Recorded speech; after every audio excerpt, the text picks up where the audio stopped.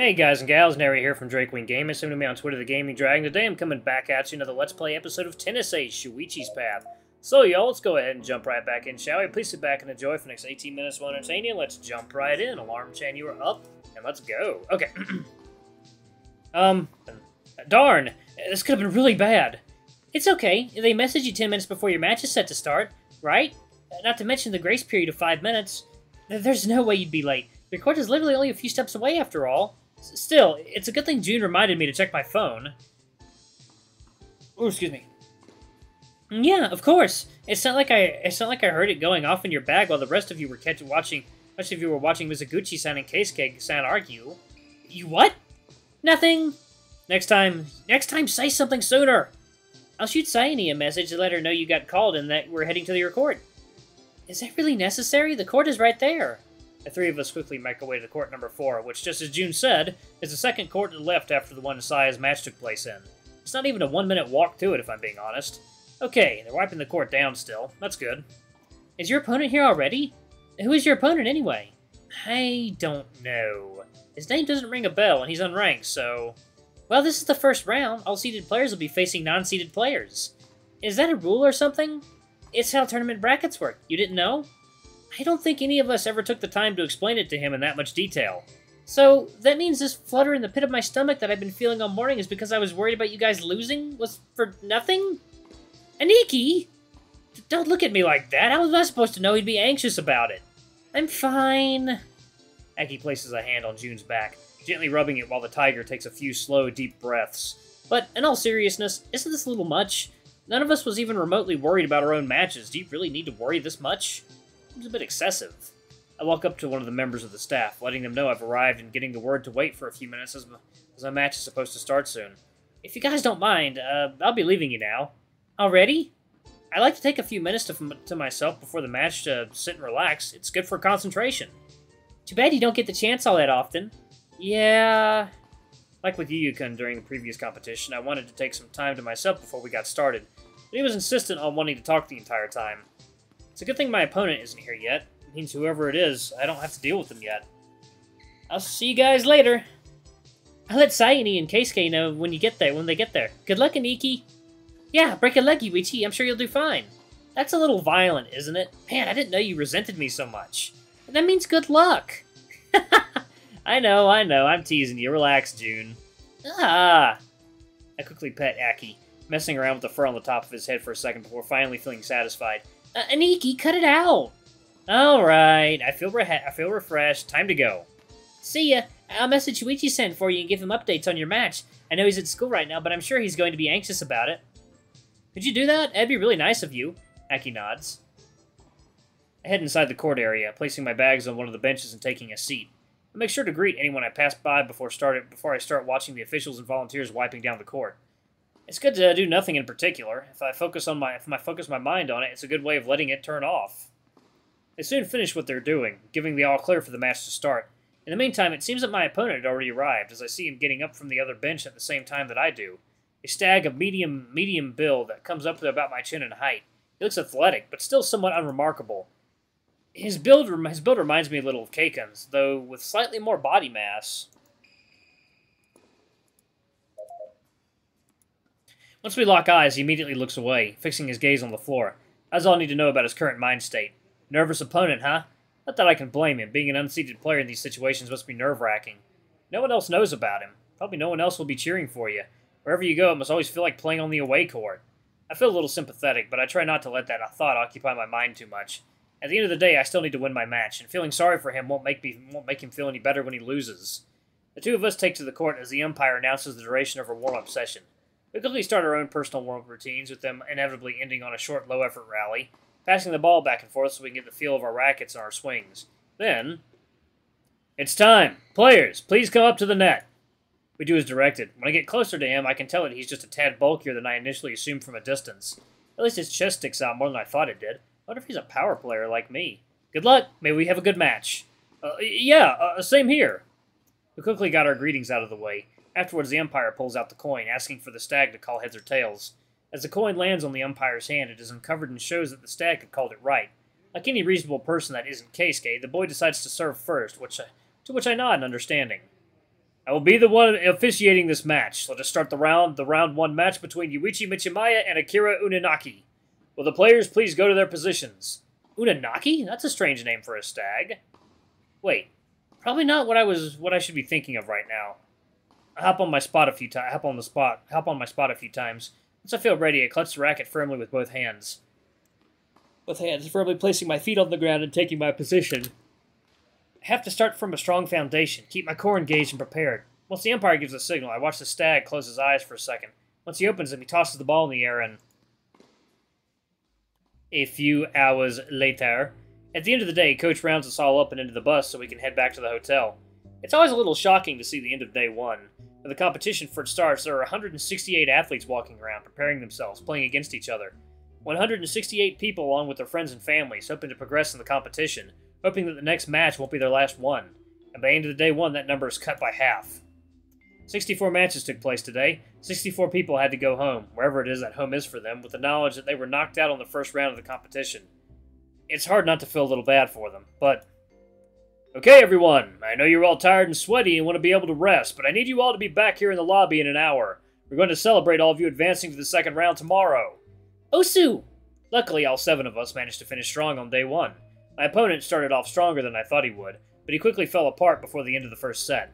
As a result, I managed to get I managed to close the game out in straight sets. Of the seven of us, four managed to win in straight sets. Since we had a whole friggin' bus to ourselves, Coach Coach allowed friends and family to ride with us back to the hotel, which was really nice of him. I'm glad you all managed to get through the through the next round. Feel silly for worrying so much now. Yes, I wish someone would have told me that the first round would be this easy. We assumed you knew, but for what it's worth, we appreciate the concern. Boo! Tomorrow we have rounds two to four. If you don't, if you want to worry, I'd start then. Quarterfinals. I'll finally be able to show that stupid dog a thing or two. You really do carry a grudge, huh? After being discounted like that, you bet I do. He might not even make it that far. The guy beat the number three player in the competition. I doubt he'll be dropping out that easily. Yeah, but just don't get ahead of yourself, Keiken. If you focus so much on him, you might get careless. The last thing we want is for you to be beaten before you can reach the, the, the quarters. I know that. You do have a history of letting your temper get the better of you. I don't do that anymore. Aki pats the hare on the back, a gesture that is far too amusing to see. Keiken really is getting comforted by a literal 12-year-old. Ah, give me a second. My phone is buzzing in my bag. Probably boyfriend. I reach inside, grabbing my phone to check who could be messaging me at this time. I'm greeted to a message from Shuichi, making me smile as soon as I see it. Call me when you get to the hotel. I suppose he doesn't know that we're already here after all. Wonder how surprised he'd be if I called him right away. Actually, I think I'm gonna head to my room and get ready to take a bath if you guys don't mind. Huh? But June said and I have to leave soon. Can't you st- Ow! That's okay. We'll see you tomorrow, Yuichi-san. I need to go talk to the others anyway. Make sure everyone is doing okay and feeling confident for their matches tomorrow. Isn't that our coach's job? I grab my things, quickly heading upstairs to my room where I'll have a little more privacy to be on my phone. As soon as I'm inside, I make sure to lock the door behind me, not wasting a second before I call Shuichi. Damn, that was fast. Miss me that much? For his part, he doesn't waste a second before picking up, immediately cracking a joke that makes me smile so hard it almost hurts. You wish. I just happen to be free to come to the phone right now, that's all. Oh, ouch, I see how it is. Huh. Well, either way, congratulations. What? Skipping right to congratulations? Are you just assuming I won? You won't even ask first to make sure? What if I choked horribly and lost my match? Bet you'd feel pretty awkward then. Shut up, you dweeb. I checked the results online before texting you. I'm not a moron. I'm not so sure about that. Evil. But anyway, how was it today? I saw you won pretty handily, but I know the score doesn't always tell all. I thought the guy would have been a bigger challenge than he turned out to be. He kind of self-destructed halfway through the first set. I can imagine. What about Saichan and Rushihara? I saw that they won too. Actually, I saw that everyone from our school won their matches. How's the mood over there? People are confident. We got to the hotel not too long ago. Uh, Coach told us to take the hour to recover for a bit before we go celebrate it. Celebrate, huh? I wonder if he's taking you guys out for dinner. I somehow doubt it. This trip would probably be expensive enough as it is. Yeah, but your coach isn't the one paying for it. Uh, true. Here's Shuichi chuckling softly at the end of the line. We stay silent for a few seconds, just enjoying the feeling of each other's company, even if it's limited to a phone call. Speaking of a trip, I already confirmed with Dad that I'll be allowed to go over there tomorrow in the afternoon. But not the morning, huh? Sorry, I really did try, you know. I know, don't sweat it. The last thing I want is for things to get awkward between Shuichi and Takahiko-san because of me. And how was your day? I'm assuming you managed to finish all the overdue assignments? I did, I did. It was a little close, but I managed to get it all done before leaving before leaving during the afternoon. Oh, but Hitoka did show up at my class during lunch break. She did? Huh. It's nice that you guys are spending more time together lately. Sure, I guess it is, but... But... It's hard to focus on homework when she won't stop yapping. Yapping, huh? I'm sure your sister would love to see you talking about her like that. I'm serious. I love her and I love her and everything, but by God, she talks so much sometimes that I can't hear myself think. And you were able to finish your work regardless? I admire you, man. It was either that or missing out on the second day of your competition as well. I appreciate the effort and dedication, but you really need to learn how to pace yourself. My hero! I guess I'll need to thank you properly for working that hard to see to see me when you come by tomorrow. You bet you do. I won't be satisfied until I get a real nice kiss. How greedy! You have no idea. I could be against it. I found that I quite like kissing.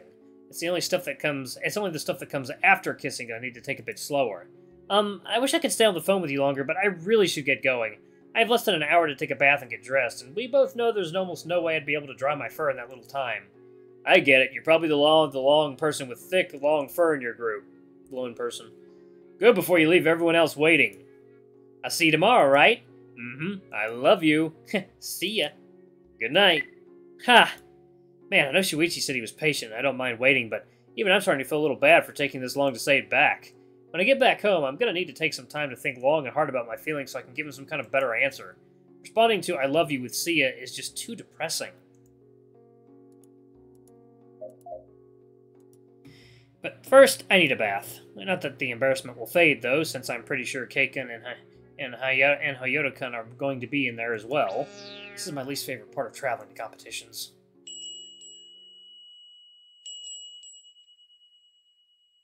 June 30th. Somehow I managed to drag my drowsy ass out of bed and down to the motel lobby almost first thing in the morning.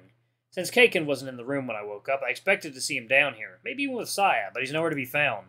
Actually, I can't see any of my schoolmates in here at all. Weird. Am I really the first one to wake up? Hmm, it is a little early. What time did I wake get up yesterday? 6 a.m. and Keiken had already Keiken had already been up for at least an hour by then. Well, it's 5:45 right now. Maybe he went somewhere else. That that must should be fine, but even Saya-chan isn't here. Where is everybody? Excuse me, is anyone from my group gone out by any chance? Uh, yes, the hare you've been sharing a room with went out a bit under half an hour ago. He was wearing a hoodie and running shoes, so I assume he went out for a jog. Makes sense. Has anyone else come downstairs? Not so far, no. Alright, thanks again. I guess I'll wait around until everyone else gets up. Of course. Feel free to relax in the lounge for as long as you need it. I nodded at the vixen manning the front desk today, pulling out my phone and making my way to the sitting area without giving it much thought. It's far too early for me to try to message someone. I don't really feel like going for a jog like Keiken did. In fact, I would have stayed in bed if I hadn't been feeling been feeling so restless. I guess even I'm not completely immune to the tense feeling you get during competitions. Maybe it's because this is my last one. Ugh, I let everyone else's constant babbling and sentimentality about it being my last time get in my head. Shuichi also tends to get up pretty early, doesn't he? Maybe I could shoot him a message. I, at least I at least I ask him what time he'll be coming by. But at the same time, I don't want to risk waking him up if he isn't awake yet. God damn it, Yuichi! Why do you have to be so indecisive? Unable to make my unable to make up my goddamn my goddamn mind, I end up mindlessly swiping around on my phone, browsing the internet looking for some kind of distraction to break the tedium of waiting. At the very least, it beats being left alone with my thoughts and anxieties. Today's the second day of competition, but the level is still quite low for me, at least for my first round of the day. Keiken should be playing against against Yuka today, regardless of which of them wins. And at least it promises to be more interesting than playing against a bunch of no-name players with barely any kind of record record of their names. I don't even know if I can pick one of them I'd prefer playing against. They're both such a pain in the asses as opponents. If I could skip all the way to the finals, I would, especially since I'm feeling a lot more confident about taking about taking Tanabe this time than I have been in God a while. Every time I've thought about playing against him the last few years, I've felt nothing more than nothing other than anxiety and a low level of dread. To think of that I feel excited about it after so long, I almost forgot what that was like. On an impulse, I decide to check my messages, scrolling down the list looking for the last time I talked to Tanabe. It takes a little while to find it, considering how far down our conversation was. Hard to think it's been almost three years. Looking these up is a little nostalgic. It's weird to think that I didn't know the last time we chatted and joked around as friends would really be the last time. Every now and again, I find myself going over these and wanting to reach out, but I always decide not to for one, one reason or another. The truth is, I'm probably scared of what would happen if I did. It's not like we haven't talked at all since then. Uh, there would be some idle chit chat, uh, chit chat in our matches, but it would never amount to anything other than small talk. At this point, I'm convinced that even if we did decide to try and be friends again, we'd have no idea how to talk to each other. I definitely don't feel like I'm even close to being the same person that I used to be back in middle school. Besides, even if I didn't consider that, there's the fact that the reason we've drifted apart has never been resolved. We had that one fight years ago, and then... I really need to stop doing this. I just keep torturing myself every time I do. Not that talking to myself is any better, though I will admit that vocalizing it definitely makes it feel more real. I really do need to stop, otherwise I'll spin myself in circles again. It's been a few months since I've gone into one of those spirals. When even was the last time? February? March? I don't really remember. Unable to get the thoughts of Tanabe out of my head, I decide to lean further back into my chair, doing my absolute best to try and fuse myself to it. Or at least I'm sure that's what it looks like, while like I'm doing from the outside. Man, I'm such a mess. Yuichi-san? Oh. My ears flick my ears quickly flicker at the direction of the familiar, deep baritone voice calling out to me. Hear me fall by the rest of my head. I see Keisuke standing a few steps behind me, looking down at me with a hint of worry in his eyes. Is everything okay? You're up quite early. You do know I could say the same thing about you, right? What were you doing out, the, out of the hotel before 6 a.m.? I was feeling restless, so I went out for a quick jog. Carefully don't end up tiring yourself out before the competition. I somehow doubt that could happen. If anything, I feel like I have too much energy. Heh, been there. Although it's been a while since I've gone through that feeling of being restless and uneasy. I decided to admit the part about me having come down here this early in the morning because I'm feeling a little, little restless. Even if I'm going through something similar, I know my own problems are, are orders of magnitude behind Keiken's right now. To me, even if I dropped out of the competition right now, I'd still be qualified for the All Japan. No matter how I look at it, I'm in a privileged position right now. In fact, my restlessness stems from a desire to play. It comes from looking forward to facing Tanabe again. I doubt it is the case for Keiken. If anything, I'm willing to bet that the thoughts going through his mind right now are less, I can't wait to play, and more, I need to not be eliminated today. Of course, there's always the chance that I'd be way off base, but I don't know. Knowing Keiken, I'd put my odds at around 80 to 85% that I'm right. How do you deal with it? Honestly, I'd say you've got a pretty good, pretty, pretty spot on already. Get yourself moving to burn off that extra nervous energy. Not much else you can do other than that. Figured. Worth a shot, though. Loud sigh, Keisuke plopped, plopped himself down in the armchair across from me, resting his elbows to, on his knees and cupping his face with both hands in an adorably overdramatic fashion. Alright, I'm going to go ahead and pause it right here. Thank you all so much for watching. Don't forget to like, comment, subscribe, ring that notification bell. Leave a super thanks or a tip if you can. It always helps. Until the next video, I love you all. I'll see you next time. Bye-bye!